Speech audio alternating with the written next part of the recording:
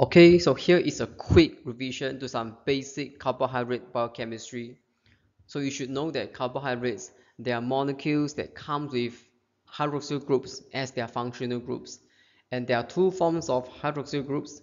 It could be either aldehyde group if they are found at the termini or at the ends of the molecule, or it would be ketone group if they are found in the middle of the molecule. So showing in this picture, you have got a hexose molecule because it comes with six carbon. But aside from hexoses you do have five carbon pentoses four carbon tetraoses or the three carbon trioses. So all these are the common forms of sugars. So some examples of hexoses would be glucose mannose and galactose while the examples of pentoses would be ribose xylose and arabinose one important property of carbohydrates is that they can exist either as an open chain or as a ring structure. For example, both glucose and fructose are identical in terms of their chemical equations, which is C6H12O6. But for glucose, it can exist as a pyranose ring, which is a six-membered ring structure, while for fructose, it can form either as a furanose, which is a five-membered ring structure, or a pyranose ring. So the formation of this ring structure is dependent on the interaction between the hydroxyl functional group with the aldehyde or the ketone group. However, sometimes the hydroxyl groups from the sugar can also interact with an alcohol group to form an O-glycosidic bond or to interact with an amine group to form an N-glycosidic bond. So when these happen, an adduct is said to be formed. So what is an adduct?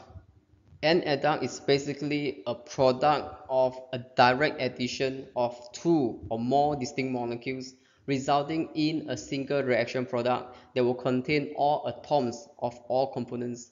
But this resultant product is considered as another distinct molecular species.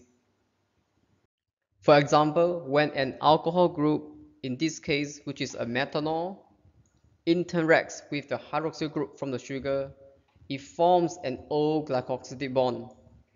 So an O-glycosidic bond is a chemical bond in between the carbon atom and the oxygen atom.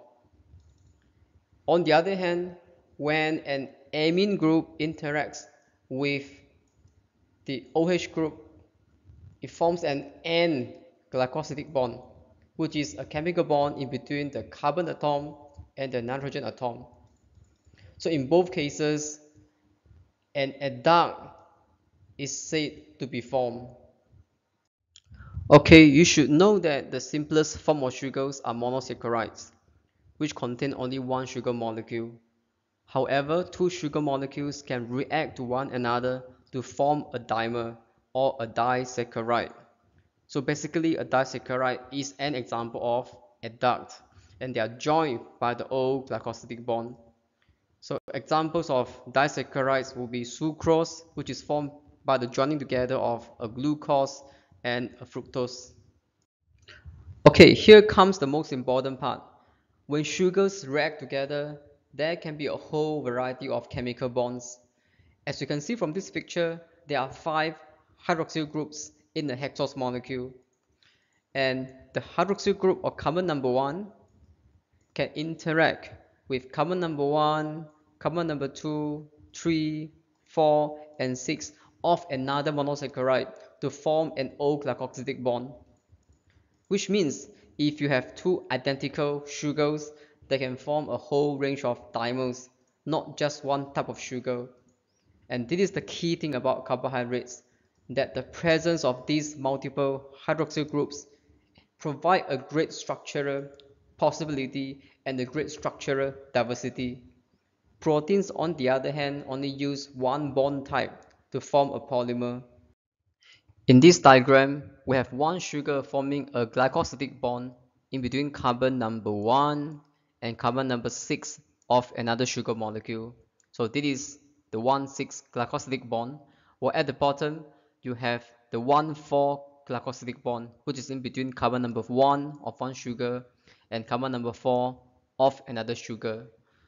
So the 1,4 glycosylated bond is predominantly found in the backbone of carbohydrates, while the 1,6 bond, they are found in the side chain of carbohydrates polymer.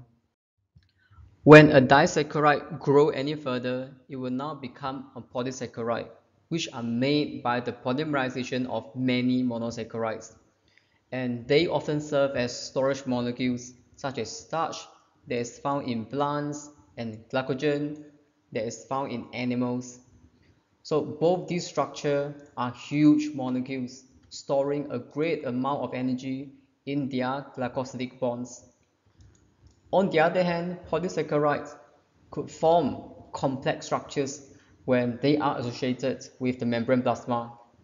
So for example, you could have a great variety of branching using the 1,6 bond and a lot more combinations as we have uh, learned from the previous slide.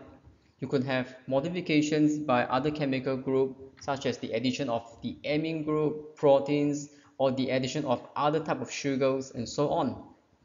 So this variety simply means that polysaccharides are information rich and this characteristics is used in cell recognition events